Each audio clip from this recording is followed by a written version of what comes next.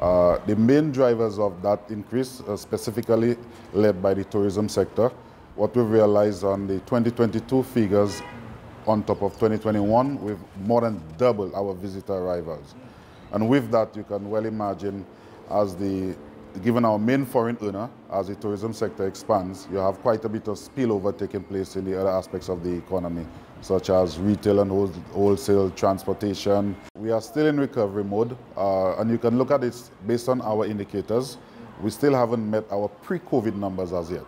But what it does show, nevertheless, is that we're rebounding very quickly, uh, especially now that when you look at, like I indicated, the 2021 versus 2022 visitor arrivals, we've more than doubled. Uh, so that's a very good indication of where our economy is going into 2023, 2024 onward.